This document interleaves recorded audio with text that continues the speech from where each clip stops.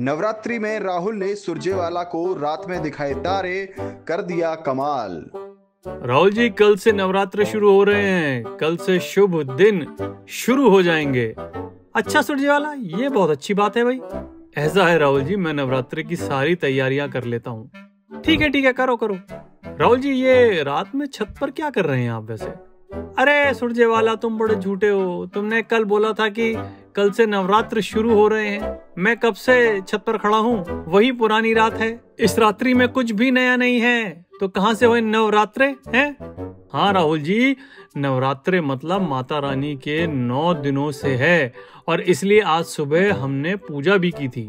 अरे सुरजे वाला मैं हिंदुओं के त्योहार से बड़ा कंफ्यूज हो जाता हूँ यार। बहुत ज़्यादा कंफ्यूज हो जाता हूँ।